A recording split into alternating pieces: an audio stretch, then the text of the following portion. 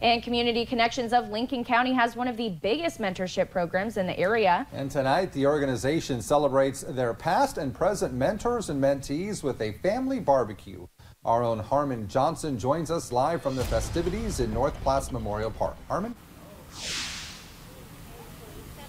Thank you, Kent and Victoria. Well, yes, I'm here at Memorial Park, and we are here at the Community Connections Family Barbecue. I'm honored to be joined by the mentoring coordinator for Community Connections, Angela Hipp. And Angela, describe a little bit about what's going on today at the barbecue.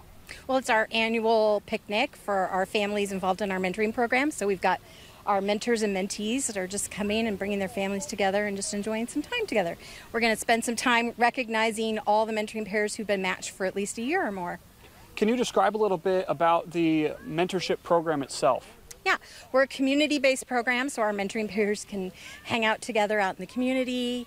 Um, we provide group activities several a month. Um, we provide some life skills lessons that we offer every month, and um, we match kids kindergarten through seventh grade. That's amazing, and I take it you have something you want the KNOP viewers to know. Oh, yeah. Your own Andre Brooks is getting recognized to get tonight for one year of mentoring his mentee. So we're really excited to have had him be a part of our program. A lot of mentors and mentees expected to show up here tonight to the barbecue. There's even a pair that's been together for six years, six correct? Years, and yeah. so a great program here at Memorial Park. That's all from here. Back to you guys in the studio, Kent and Victoria.